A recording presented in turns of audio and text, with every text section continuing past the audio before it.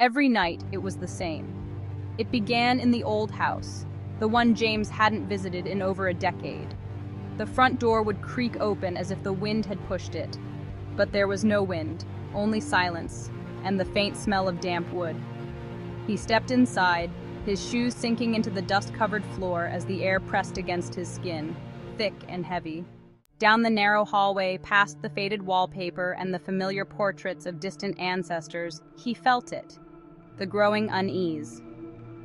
Each step pulled him closer to the one room he feared.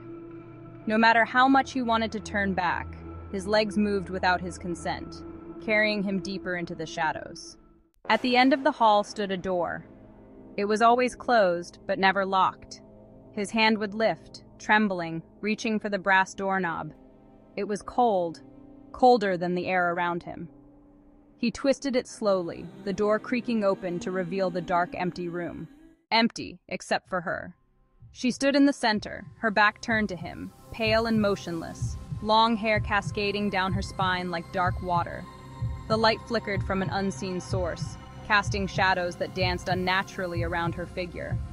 He wanted to scream, to run, but his voice was trapped, just as it always was. His body refused to obey. Then she turned. Her face was twisted, warped in a grotesque, haunting way. Her eyes were hollow, wide, and filled with a darkness that sucked the air from his lungs.